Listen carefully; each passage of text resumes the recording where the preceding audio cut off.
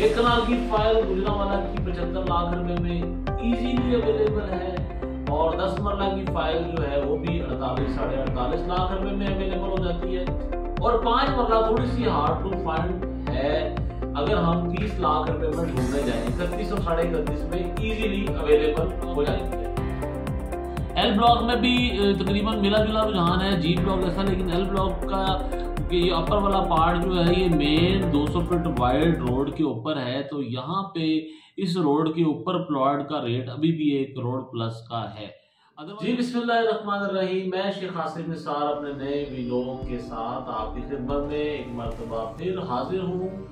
बहुत सारे दोस्त जो हैं वो ये भी पूछ रहे थे कि डी एच ए गुजरावाला का काफ़ी टाइम हो गया कोई ब्लॉक वाइज आपने वीलॉग नहीं बनाया। तो जी, आज हम डी एच ए गुजरावाला पे फोकस करते हैं। वीलॉग बनाने वीलॉग स्टार्ट करने से पहले डेफिनेटली पूरे पाकिस्तान की रियल स्टेट की मार्केट में इस वक्त बहरानी कैफियत है। तो not only for D H A Gujranwala all over the Pakistan market में काफ़ी ज़्यादा जो है वो कमी का रुझान है।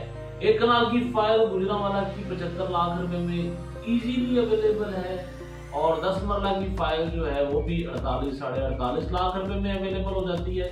और पाँच मरला थोड़ी सी हार्ड टू फाइंड है। अगर हम तीस लाख रुपए में ढूँढने जाए, इकतीस और साढ़े इकतीस में इजीली अवेलेबल हो जाती है। आइए अब चलते हैं प्लॉट्स की तरफ़ और ब्लॉक वाइज जो है अपना वीडियो स्टार्ट करते हैं। डीएचए गुजरावाला जी डीएचए गुजरावाला में जैसा कि आपको पता है, जीटी रोड से एंट्रेंस है, पहले कमर्शियल जोन टू साउथ और नॉर्थ से गुजरते हुए कमर्शियल जोन थ्री उसके बाद ये जो ओपन पैच दिखाया हुआ है, उसके बाद ये भी ओपन है, ये भी ओपन है और ये भी ओपन है। इसके फिल होने का इंतज़ार पिछले तीन साल, चार साल से किया जा रहा है, जो कि अभी तक जो है वो यहाँ पे, अभी तक कुछ समझ नहीं आ रहा कि यहाँ पे क्या होने वाला है।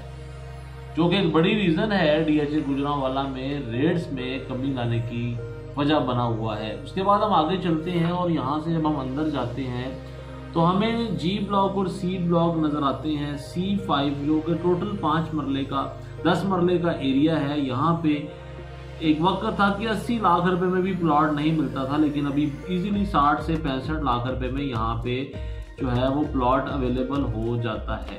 ये वाला जो पाँच मरला एरिया है, यहाँ पे इजीली प्लॉट जो है वो चौंतीस लाख रुपए से लेके और अठतीस लाख रुपए के दरमियान आपकी मन चाहिए लोकेशन जो है वो अवेलेबल हो जाती है।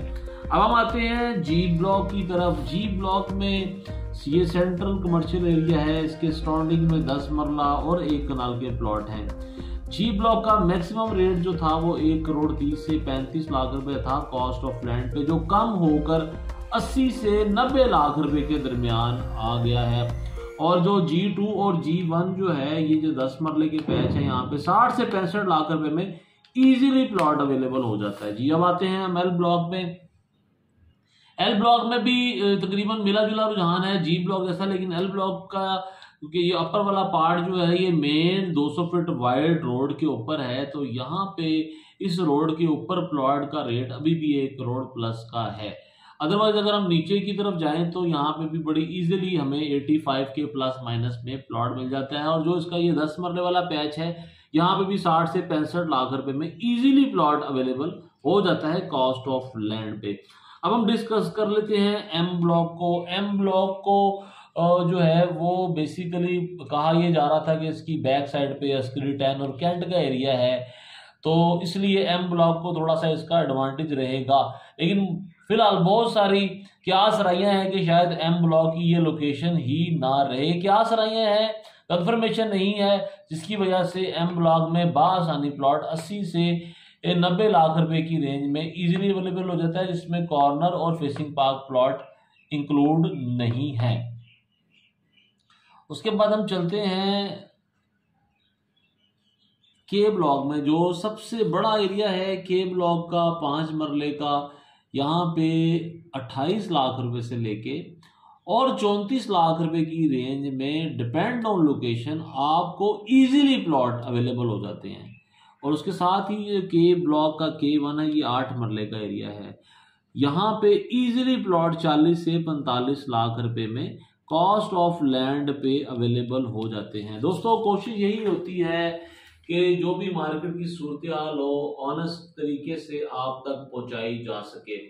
बेसिकली uh, क्योंकि पूरे पाकिस्तान की मार्केट में रियल स्टेट सेक्टर का भट्टा बैठा हुआ है तो हम ये नहीं कह सकते कि डीएचए गुजरावाला की मार्केट में ही कमी आई है ऑल ओवर द पाकिस्तान ही रेट्स काफ़ी डाउन हुए हैं। उम्मीदें रैश अजर से उम्मीदें बाहर रख, व्यवस्था रैश अजर से उम्मीदें बाहर रख। पाकिस्तान हमारा मुल्क है, हमारी उम्मीदें इसी से वाबस्ता हैं। उम्मीद करते हैं कि अब आने वाला जो वक्त है, वो रियल स्टेट सेक्टर की बहाली के लिए अच्छा वक्त साबित हो। इजाज़त दीजिएगा। नई वीडियो के साथ दोबारा हाजिर होंगे। अल्लाह हाफिज़।